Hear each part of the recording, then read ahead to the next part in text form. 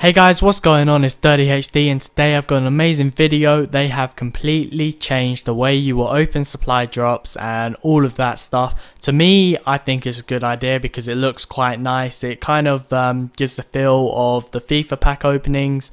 Um, they've made it look a little bit fresher, smarter, a little bit nicer to open them and it just looks a little bit more pristine. But before we get into the video, I hope you would leave a like if you did enjoy and if you haven't already hit that subscribe button to stay up to date with the newest Call of Duty content and all of that good stuff. Now let's get into the video. So basically what they've done is they have gone into the blackjack of the recent update and or the black market I mean um, with the recent update and they have changed quite a lot of stuff. Now for instance they've changed the whole layout of it They've done buy contracts, recent and duplicates all at the top in little tabs as you can see on screen now.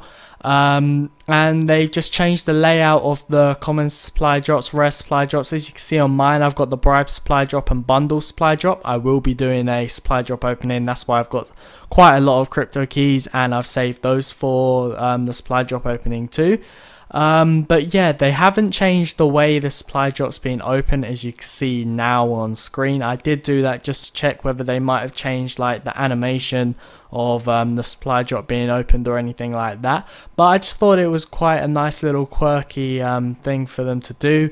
Um, they didn't change anything to do with when you click onto the contracts, they didn't change any of that. Or when you buy COD points, buy is just going to buy COD points. Uh, recent is exactly the same as it was before. Um, and duplicates, you just burn duplicates. It's really nothing special. Um, but I just thought it was quite a nice addition that they added onto the game. So if you did enjoy, please hit that like button. And if you want to see more, hit that subscribe button. And I'll see you in the next video, guys. Peace.